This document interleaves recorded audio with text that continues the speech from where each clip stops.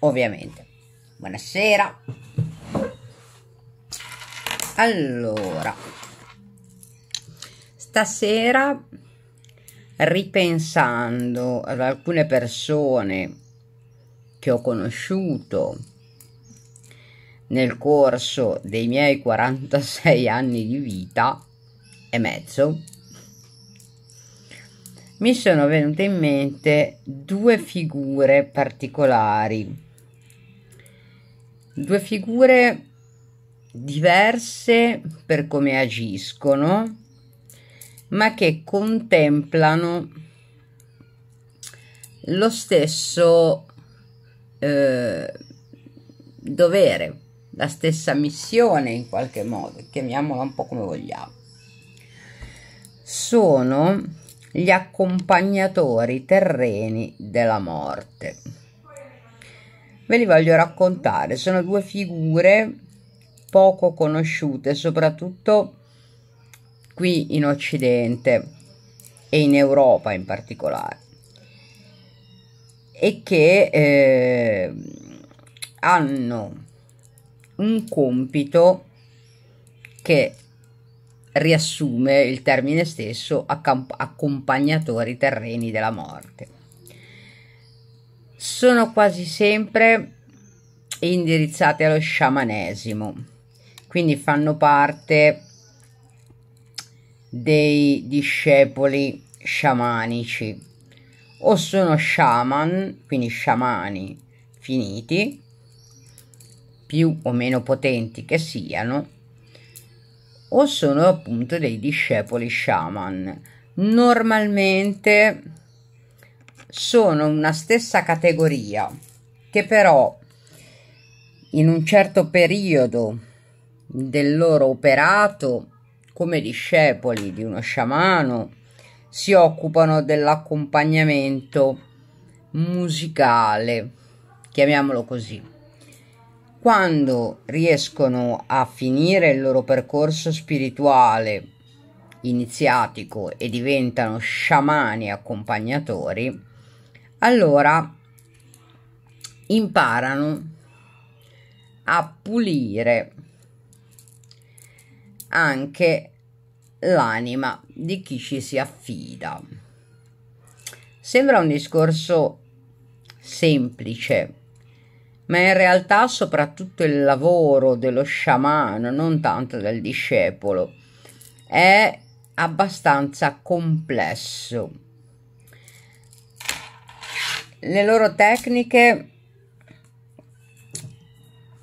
sono personali, mm, pseudo segrete e quindi comunque non entro nei dettagli delle tecniche in sé, ma il loro modus operandi è così fatto. Gli accompagnatori discepoli di solito nelle fasi terminali di, uno, di una persona che si affida a loro e che sta per tornare nell'oltre eh, accompagnano gli ultimi tempi, le ultime ore, gli ultimi minuti, gli ultimi giorni a volte di vita di quella persona attraverso dei ritmi musicali particolari. Il tipo di strumento rigorosamente suonato dal discepolo normalmente è scelto in base alla corrente sciamanica del discepolo stesso, quindi al tipo di sciamanesimo a cui il discepolo si è aggregato. Alcuni usano tamburi, giambè o in generale percussioni, gong, altri utilizzano sonorità vibratorie come eh, le corde, le arpe, le chitarre, eh, le campane tibetane, il violino, alcuni la voce cantando determinati tipologie potremmo definirli mantra, dei mantra, con sonorità ripetute e via dicendo. Queste vibrazioni musicali aiutano a ripulire la parte, diciamo, più esterna dell'anima che si sta staccando da quel corpo.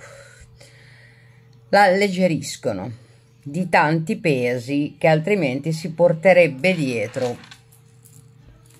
si porta dietro dalle vite precedenti. Chi si affida ai discepoli sciamanici per la pulizia musicale dell'anima di solito se ne va dal corpo umano in maniera più leggera, più pulita, non subisce il trauma della morte che fa perdere determinate memorie, arriva di là con idee molto più chiare. E eh, non ha la necessità di scrollarsi poi di là determinati ricordi, determinati quelli che un po' vengono definiti grosso modo, ma ci sarebbe da aprirci un'enciclopedia della Treccani su questo argomento. Quelli che vengono un po' definiti le, le, cose incompiute, che poi non sono cose incompiute, ma sono semplicemente strascici, strascichi, non mi ricordo mai come si dice, appunto di congetture terrene che in qualche modo hanno sporcato e sono rimaste incollate all'anima stessa. Lo sciamano invece, non il discepolo, lo sciamano accompagnatore del regno mortale, quindi sciamano vivo e vegeto, fa una sorta di confessione al prossimo defunto, cioè a colui che sta per andarsene, cercando di convincerlo a pulire la sua anima facendo andare via lui stesso i pensieri che lo ancorano alla vita che ha, ha vissuto fino a quel momento gli insegnano a lasciare andare il passato, a lasciare andare i ricordi, a lasciare andare le ideologie. Ora, questo è un discorso che chi studia sciamanesimo, chi si interessa di elevare la propria coltivazione spirituale appunto a livello sciamanico o a livello mm, quelli che vengono definiti santoni, quelli veri, non quelli spilaspiccioli che creano sette, eh, asceti, ecco più che santoni, asceti. Una sceta allontana da sé, dalla sua mente, le tribulazioni umane le cose che agli esseri umani normali possono sembrare importantissime per una scelta non hanno nessun senso. Peraltro c'è da dire che quando noi, questo in generale nella vita, ci accaniamo tanto pensando che una cosa sia un problema, è quando non troviamo la soluzione a questo perché l'ansia che generiamo nel pensare a quel problema ci fa perdere di vista la strada per superarlo. C'è un detto orientale che tradotto in italiano dice c'è un problema. Esiste una soluzione? Allora non c'è bisogno di disperarsi. Non esiste una soluzione e allora è inutile disperarsi. Questo perché? Perché eh, l'ansia, lo stress e l'ossessività dell'essere umano, della, della mente umana materiale, porta alla distrazione dell'anima dello spirito e anche del concretismo nel risolvere le situazioni di vita. Una persona ansiosa non risolverà mai nulla. Una persona accanita neanche. Gli idealismi, le ossessioni idealistiche, che possono essere di qualunque genere e forma, ci sono ossessioni verso altre persone, io senza di lui non, muo- non vivo, stavo dicendo non muoio, non vivo, è un'ossessione.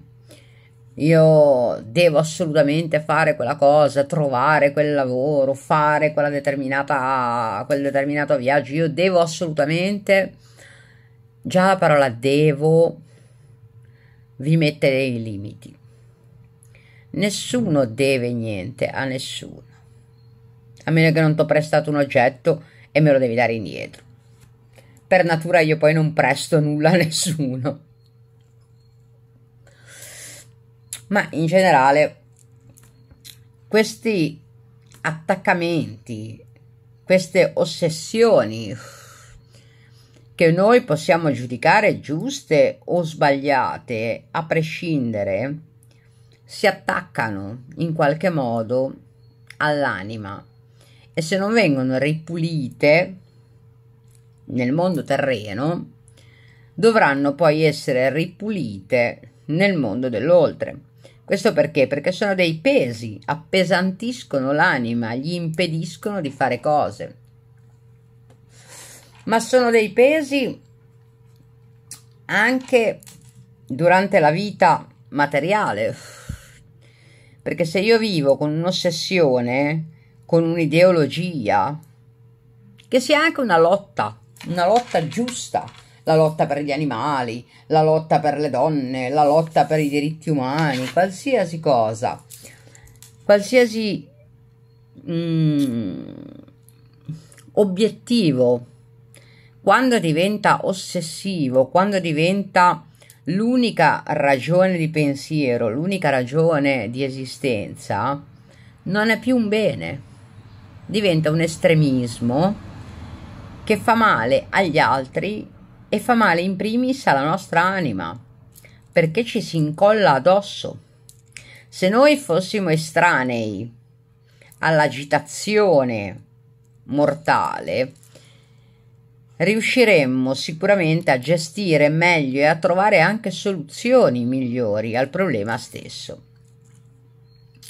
Se noi siamo ossessivi, a parte che l'ossessionarsi a una certa questione, qualsiasi questione sia, eh, da una lotta ideologica a una persona che vogliamo a tutti i costi, a un lavoro che vogliamo a tutti i costi, a qualsiasi cosa che ci ossessiona, che, ci, che diventa il fulcro dei nostri pensieri giornalieri, ci logora in qualche modo anche il corpo e il fisico. Votarsi a una causa unica non ha mai mm, un senso, non è mai cosa buona per l'anima. La sporca. Prescindere che l'ideologia sia giusta o sbagliata, che sia la salvaguardia delle foreste o che sia lo sterminio alla Adolf Hitler, non importa, a noi, se abbiamo quell'ossessione, ci logora, ci sporca l'anima e non ci fa fare, non ci fa vivere appieno le esperienze e non ci fa comprendere le cose che noi invece saremmo venuti a imparare in questa vita. Nessuno quasi degli esseri umani terrestri, tranne appunto qualche asceta e qualche sciamano che è riuscito a superare la fase di interesse cronico verso una qualunque tematica ci eh, porta ad avere l'anima nel corso della nostra vita sempre più sporca e sempre più appesantita. Queste due figure, appunto, che nel mondo occidentale sono poco conosciute, nel mondo orientale e in alcuni eh, luoghi, diciamo, più legati alle tradizioni arcaiche rispetto a questo mondo occidentale che si considera moderno e all'avanguardia, non sono tanto conosciuti, ma sono delle figure estremamente importanti proprio per la pulizia e l'alleggerimento dell'anima stessa. Se non si è riusciti a, puli- a mantenerla pulita, perché quando nasciamo è pulita quando veniamo in queste reincarnazioni, ma poi la sporchiamo noi con i nostri pensieri. E eh, riuscire a mantenerla pulita per un essere umano medio, normale, che non è una sceta, che non mira allo sciamanesimo e via dicendo, è praticamente impossibile anche la persona più buona di questo mondo o più... Eh, non è neanche una questione di bontà, perché poi alla fine uno può essere buono ma avere delle ossessioni, avere delle fissazioni. Le ideologie di salvaguardia di un qualcosa sono cose buone a livello di bontà, perché tu cerchi di salvare una categoria, di aiutare una razza, di aiutare eh, la natura, di aiutare qualsiasi cosa, ma il tuo modo di vivere quell'ideologia ti sporca l'anima. Quindi alla fine non c'entra il buono e il cattivo con lo sporco dell'anima. Appunto queste figure riescono ad aiutare a ripulirla. Fortunatamente, specialmente per quanto riguarda i discepoli musicali, anche in Italia, cosa che non mi sembrava possibile, invece da qualche anno ho scoperto che ci sono proprio dei gruppi, peraltro di persone che sono anche inserite mh, mm, proprio nei lavori ospedalieri, nei lavori di case di riposo e via dicendo, quindi anche persone che hanno più possibilità di utilizzare queste tecniche musicali per accompagnare e appunto ripulire prima dell'ultimo viaggio. Lo sciamanesimo invece di eh, pulizia dell'anima e del distaccamento da tutto ciò che ci teneva legati a questa vita non è tanto praticato e quei pochi che hanno incontrato nella loro vita qualche sciamano che poteva in qualche modo aiutarli a ripulire ulteriormente, non solo um, a livello diciamo di, di vibrazione iniziati, iniziale, maggiormente la loro anima, ne sono rimasti spaventati e non hanno voluto. Ma questo perché? Perché l'essere umano terreno tende a vivere, questo tutti un pochettino siamo così, tende a vivere di ricordi il pensiero di lasciarli andare i ricordi, quindi di perderli, di non averli più, non di non pensarci, perché il non penso a quella cosa significa però è lì, messa via, non ci penso ma c'è. Non è la stessa cosa che eliminarli completamente, cancellare tutto ciò che ci ha legato, tutto ciò che abbiamo vissuto in quella vita la gente si attacca ai ricordi come se fossero dei tesori, ha paura che se perde il ricordo perde la sua essenza, perde la sua esistenza. Anche perché, perché eh, i nostri ricordi sono meramente ricordi di un'unica reincarnazione, di un'unica vita, ma eh, per l'essere umano che in quel momento sta vivendo quella vita, quella reincarnazione ha un'importanza basilare.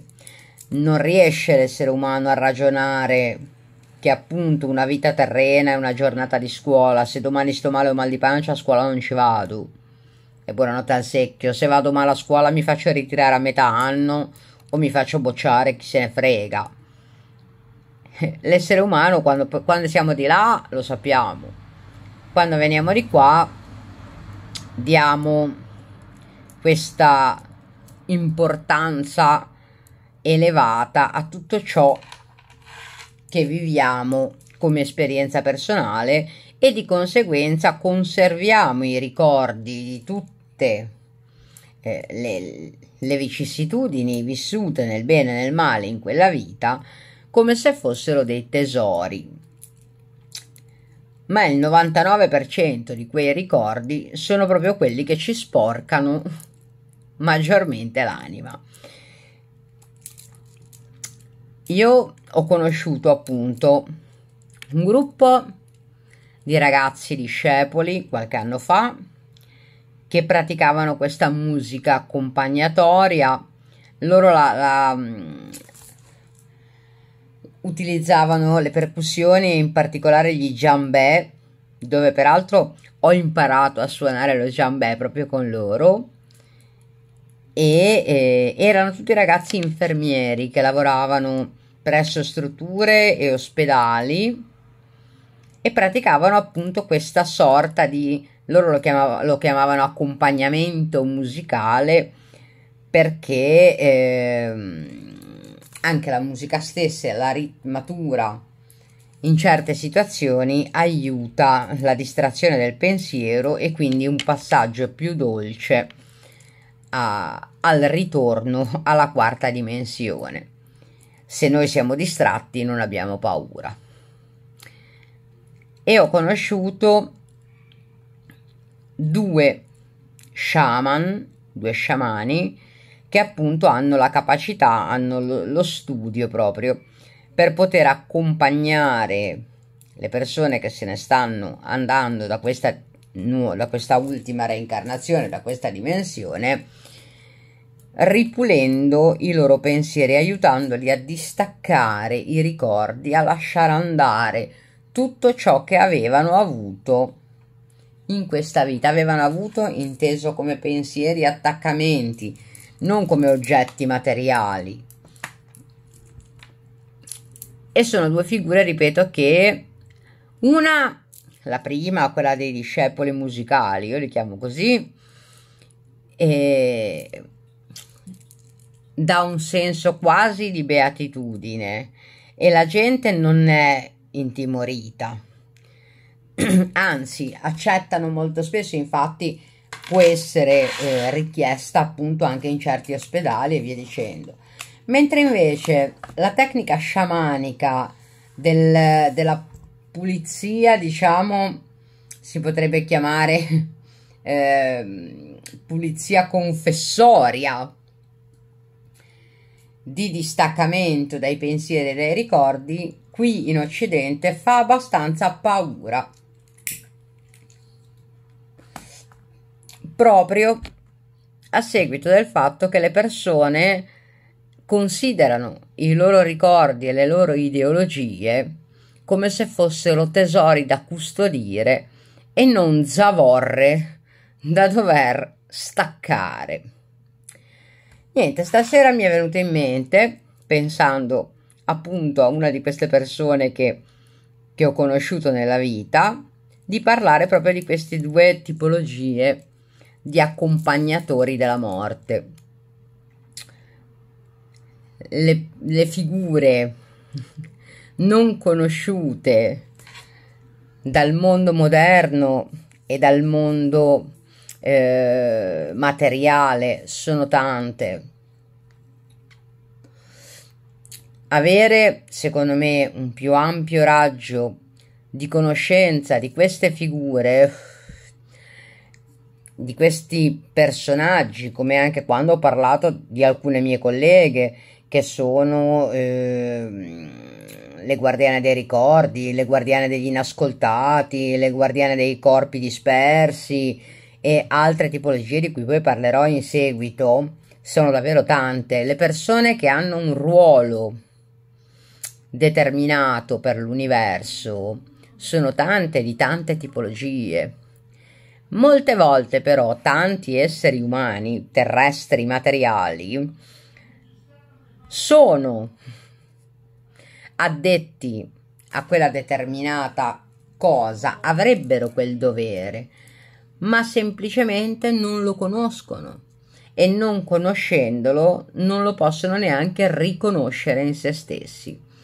Quindi trovo che sia fondamentale durante le registrazioni di questi video anche raccontare e spiegare alcuni, perlomeno quelli che conosco, ma non sono onnisciente, non li conosco tutti, ma quelli che conosco, pian piano cercherò di descriverli al meglio nelle spiegazioni sul paranormale e eh, cercherò di ampliare anche questo tipo di cultura che secondo me tutti dovrebbero perlomeno conoscere, a prescindere che poi la si apprezzi o non, non ci si trovi in accordo, è comunque fondamentale secondo me conoscerla, conoscerle tutte.